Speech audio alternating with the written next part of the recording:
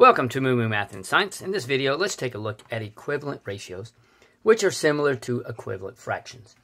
Uh, equivalent ratios will have the same value even if it looks different. So what you can do is we can rewrite this as a fraction. And to find equivalent ratios, you can either multiply or divide the numerator and denominator of this fraction by the same number. For example, uh, we can multiply both of these by 2, and that gives you 4 6, uh, which is an equivalent fraction. I mean, excuse me, equivalent ratio. Or we could multiply it by, uh, let's say, 4. Okay? Notice that I'm multiplying numerator and denominator by the same number. That is key. So that gives us 8 twelfths. And we can rewrite it like this. Okay? That is the first example. In addition to multiplication, you can also divide. So I'll rewrite this ratio as a fraction, and I can divide the numerator and denominator uh, by the same number. So this would be 10 twelfths, which we can rewrite as 10 twelfths, or I could divide it by 4 because they're both divisible by 4, and that gives you, um, what is that, 5, 6, okay? So the key is you can either multiply or divide both the numerator and denominator of the fraction that you create from the ratio will give you equivalent ratios. Now, let's apply this to, uh, say, a little okay, word problem. Now, let's look at this um, word problem. In Mr. B's class, there were, oops, there's a misspelling. There were three boys for every five girls. Which of the following groups has the same ratio? So let's go ahead and write this as a ratio, and I'm just going to write it as a fraction. So now we need to see which of these is an equivalent ratio. So here's what I'm going to do. I'm first going to take 12 and it needs to be, see how many times it's divisible by 3, and that is 4.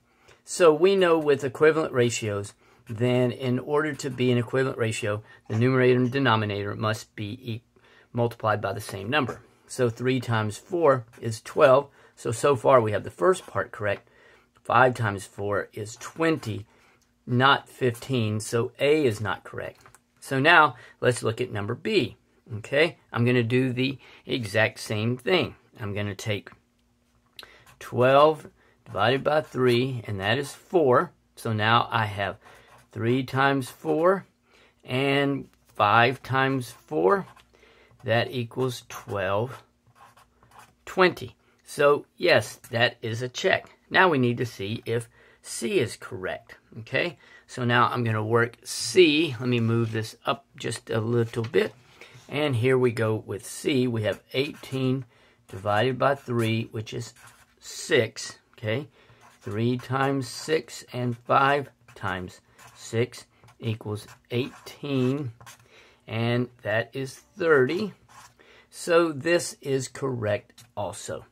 So both the, the ratios 12, 20, and 18, 30 are equivalent to 3 over 5, or 3 to 5. Let's look at one more. Okay, a group consisting of 300 student, 320 students and 28 chaperones is going on a field trip. Which of the following groups has the same ratio of students to chaperones? So, again, I'm going to go 320. I'm just going to write the ratio as a fraction. Okay, so now what I'm going to do is I'm going to do kind of the same thing. I'm going to take 320 divided by 80. And 320 divided by 80 is 8, 16, 24 is 4. So now what I need to do is, since this is larger than 80, I've got to go 320 divided by 4. And 80, excuse me, um, 28 divided by 4. And uh, let's see what this is. This is 80 and 28 divided by 4 is 8, 16, 7, 14 is 7. And so that 8, 80 to 6. So this one is not correct. So now let's look at the next one. Now another way you could look at this is you know that 80 goes into 320 four times. So what you can do is you can take 80 over 6. Multiply both of these by 4, and it has to equal 320 over 28. Well, the first one, 80 times 4 is 320, but 6 times 4 is um, 24. So again, that is incorrect. So now let me speed this up just a little bit and try the other two questions, uh, the other two answers. So now we have uh, 320 divided by 40, which is 8.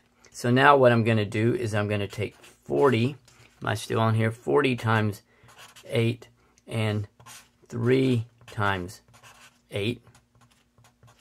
Okay, and when you multiply that, that ends up being 320 over 24. So that can't be correct. And now let's move on to our last one. We have, again, we have 320 divided by 80. We know that that's 4.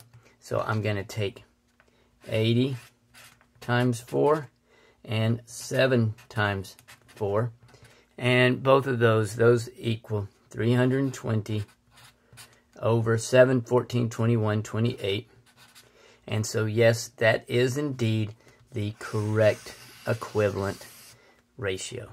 So in summary, with an equivalent ratio, it's going to be either multiplied or divided, the numerator and denominator, by the same number. Thanks for watching, and remember, kindness multiplies kindness. Be kind to someone today.